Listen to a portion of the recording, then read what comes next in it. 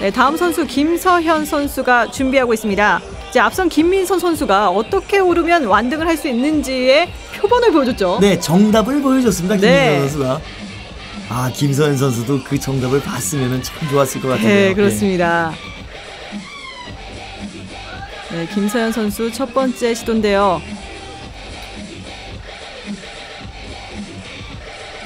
네, 지금 출발부터 지금 조금 불안해요. 네. 예, 손에 위치를 잡질 못하고 있어요. 네, 처음 시작부터 네, 조금은 불안해 보이는데 일단 왼발 히록으로 걸어서 아, 김서현 선수 아니요, 아니요, 아니요. 네, 아니에요, 아니에요. 예.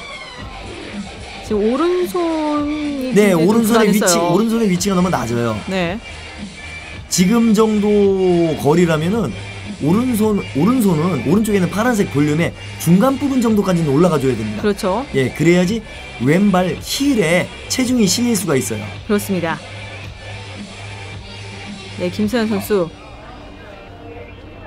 이제 다시 한번 어떻게 해야 할지를 네, 생각하면서 두 번째 시도 이어집니다. 네, 처음부터 네, 굉장히 신중하게 출발을 하는 모습인데요. 아, 네, 손 오른손 자리가 네, 더 올라가야죠. 조금 더 예. 올라가야죠. 아, 그리고 왼발도 마찬가지입니다. 네. 왼발도 예.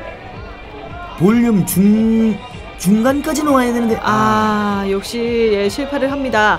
조금 더 위치가 지금보다는 예, 지금보다는 조금 더 네, 예, 위쪽으로다가. 예, 위치를 해야 됩니다. 지금 그러니까 왼발도 지금보다는 조금 더 10cm 정도 약간 10cm 네. 가량 예, 위쪽에다 위치를 해줘야 되고요.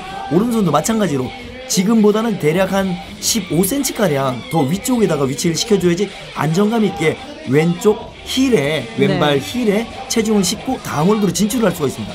네. 김서현 선수 세 번째 시도를 앞두고 있는데 사실 상담으로 더 이렇게 움직이지 못한 이유가 아, 미끄러질 것 같다는 그런, 그런 불안감, 부담이 있죠. 예, 불안감 때문에요. 지금. 네.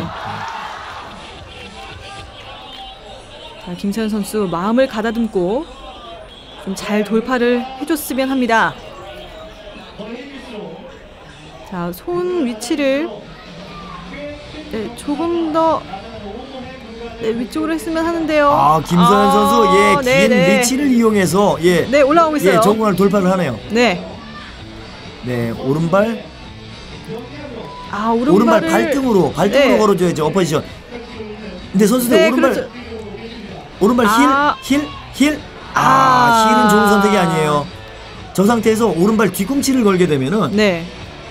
지금 위치에서는 안정감 있게 자세를 유지는 할 수 있습니다. 네. 그렇지만 뒤꿈치를 걸게 되면은 좌측에 있는 보너스 존 볼륨으로 몸을 빠르게 이동을 시킬 때 몸이 탄력이 너무 강해서 왼쪽으로 관성을 이기지 못하고 왼쪽으로는 관성을 이기지 못하고 추락할 수가 있어요. 예. 네. 그럴 때는 몸을 발을 서서히 빼줄 수 있는 발등을 거는 어퍼지션 기술을 사용을 해야죠.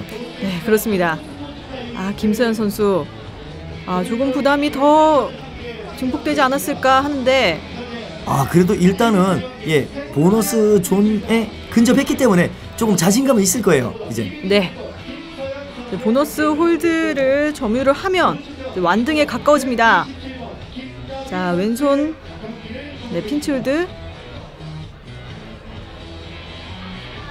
네 자, 오른발 신중하게 오른발 발등이죠 아, 발등. 지금 약간 시간 지체를 하고 있는데요. 네, 김서현 선수 지금 오른발을 잘 이용을 해야 되는데 오른쪽 볼륨에 오른발을 걸지를 못하는 이유가 지금 바로 직전 시도에서 한번 실패를 했다는 기억을 가지고 있어서 그런 것 같아요. 네, 부담감을 이겨야 합니다. 네, 김서현 선수. 아 다시 자, 또 아, 또 힐, 힐을 거는데요. 아, 저렇게 되면 다시 또 빠지네요 힐이. 네. 네. 높이를 따고 아, 아쉽네요. 아쉽습니다. 네, 김서현 선수도 이번 과제에서 완등하지 못하고 네, 경기를 마무리 짓습니다.